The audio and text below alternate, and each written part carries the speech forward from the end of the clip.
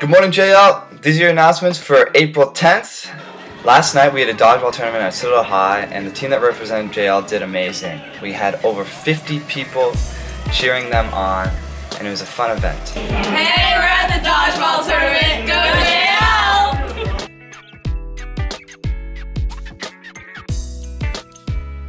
JL! Here are some other very important announcements, JL. Check them out. Today is Green Team's Everybody Peace campaign.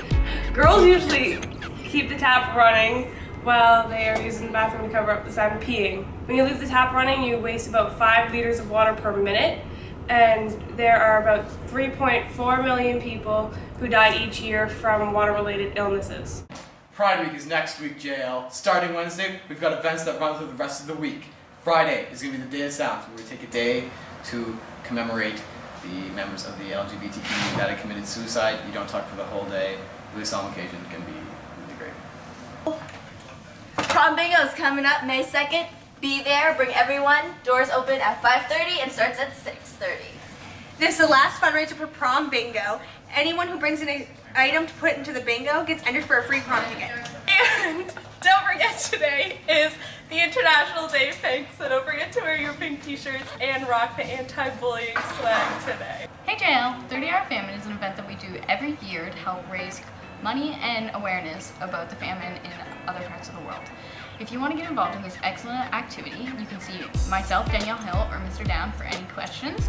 It's going to be April 26th, and we fast for 30 hours, and we spend the night at the school, and it's going to be a great time. Hey guys, yeah. Hey, it's Kevin. This is Mohammed. And we're the organizers of the floor hockey tournament. Today at lunch, there's going to be the finals. Cody Scares team versus the undecided winner of the divisional head. Stay tuned for dodgeball.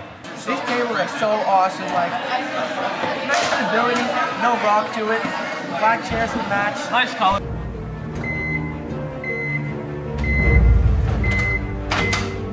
That's right, JL. Movie night's cooking once again. And tonight at 7 p.m. we are watching Heat. So bring your two bucks, wear your pink, otherwise you can't sit with us.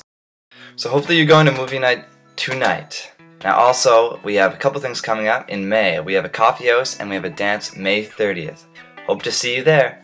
If you're expecting to see something else in this video, you can always go to our Facebook page and you can check out more photos and videos there.